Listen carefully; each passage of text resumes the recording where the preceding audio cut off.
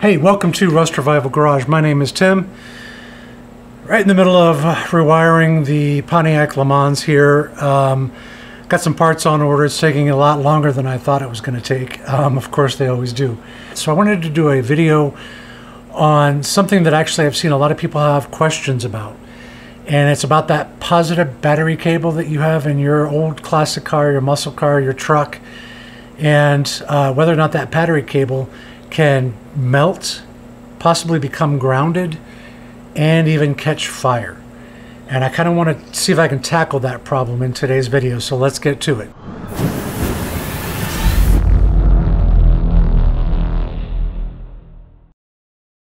So I'm not sure if you saw my previous video where I was doing the engine and start charge wiring on the 68 Pontiac. Uh, but I kind of showed that there was a design flaw in Pontiacs and they had this little tube that was running down between the exhaust manifolds. Your positive battery cable went down through that tube and down to the starter. This little tube right here, actually.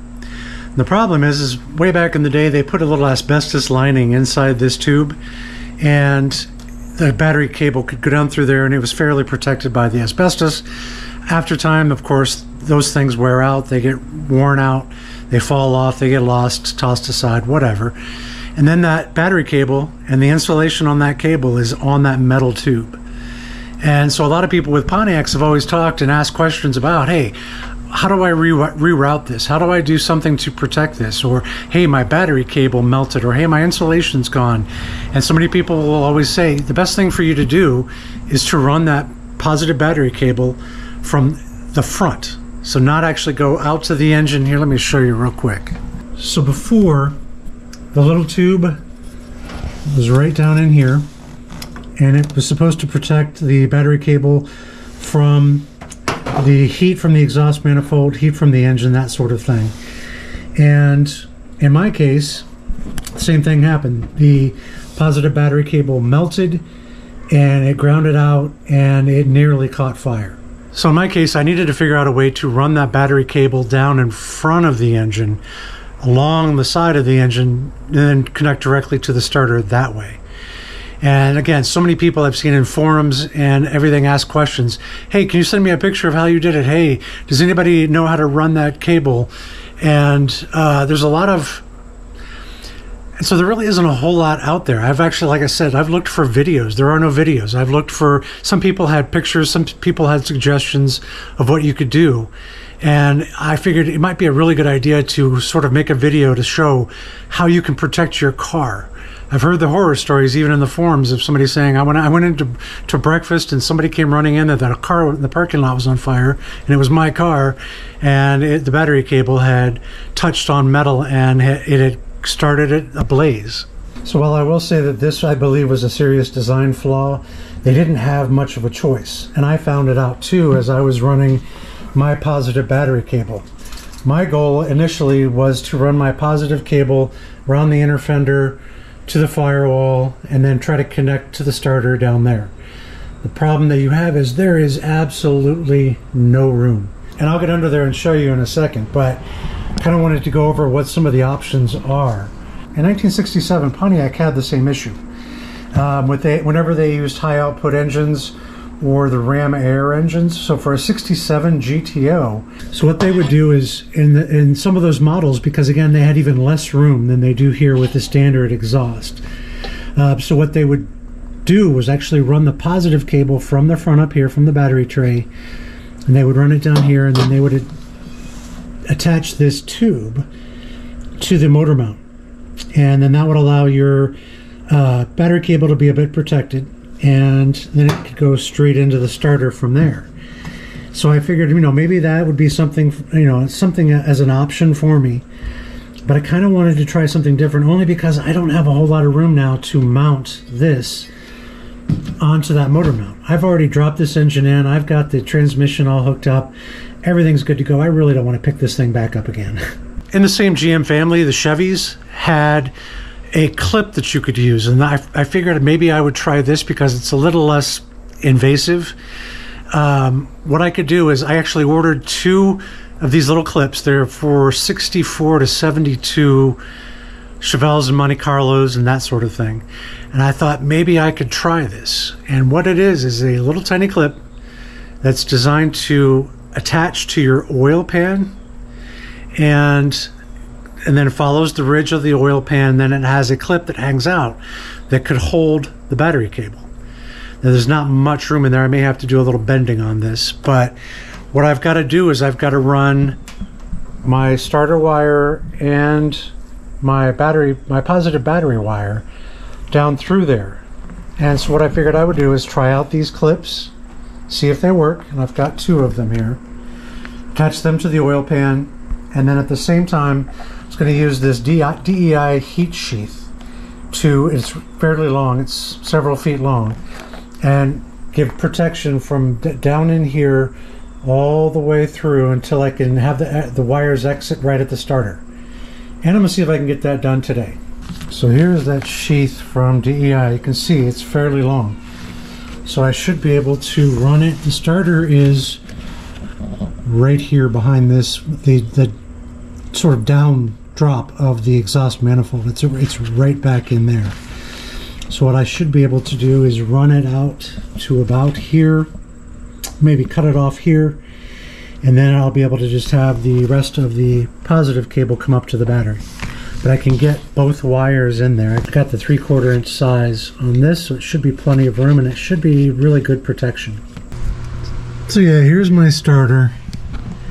It goes right up in here these two bolts here. So you can tell it fills up this whole area and look how close the exhaust manifold is. So there's just no room at all. So the clips look like they actually might fit up there on the oil pan. And I've got these stretched out a bit and this is kind of where it would be. It would hang from the oil pan. The only thing I don't like is that the clip hangs down. If it held, if it if it hung up, it could hold on to the wire. But I might have to just put these on and pinch them down a little bit. Don't want to damage the battery cable. But at least I can make sure it's got a nice strong hold up there. Okay, there is one of the clips up in there. Had to make sure I didn't tighten too hard. It only requires 12 foot-pounds of torque for Pontiac oil pans, but I wanted to make sure it was nice and tight and had a good connection. Let's get the other side on. Okay, so I cannot mount that clip on that one. The motor mount is in the way and it's keeping me from getting any access. This one I believe is too far back. The starter itself, the back of the starter is going to be right there. So I don't think that'll help. Maybe I'll just put two clips on the front.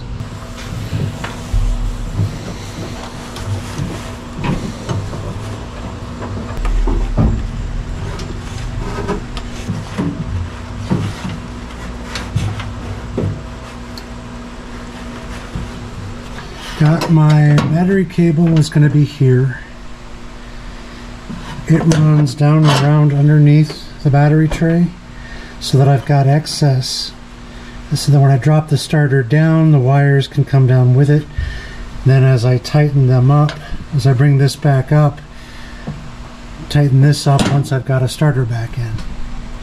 So now it's just going to be a matter of cutting off the right amount I need to put the starter down there sort of measure where I need to be and then cut things off. This is also the starter wire. The purple wire is run from the harness back around here, goes down to the starter. The other thing I wanted to do was actually bend this before I put it onto the wire to make sure I've got a fairly decent 45 uh, on my battery cable wire. The purple wire, I'll put one on there as well and bend that one.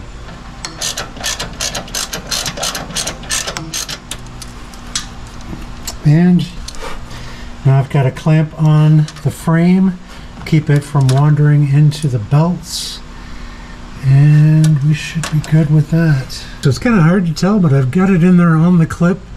It's holding mostly the, just the wire itself. It's not really, the sort of insulation is just sort of hanging down, but it's group, it's gripping the wire. I got it bent around so that it's holding onto it like that. Let me see if I can get it from the other angle. Yeah, you can sort of see it in there. It's pretty tight around the wire. It's not holding onto it to damage it, but it should be fine. Okay, so I'm not ready to cut it and install the wires yet, but as you can see, the insulation stops right at the right spot. I'll probably have to trim it back a little bit. Then install my uh, terminals, and we should be good.